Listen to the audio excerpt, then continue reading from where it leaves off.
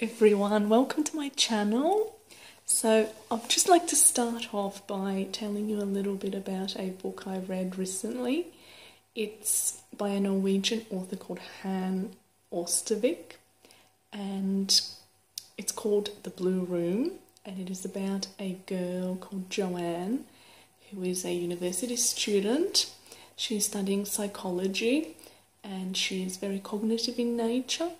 So she studies hard, saves money, she's very conscientious, and uh, is definitely not uh, somebody who is irresponsible or does things impulsively. But it all changes when she meets Ivar, who um, works in the university canteen.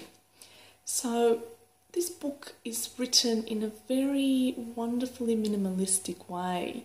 Um, but it is full of suspense and it is full of psychological thrills. And when I finished it, I immediately wanted to reread it again.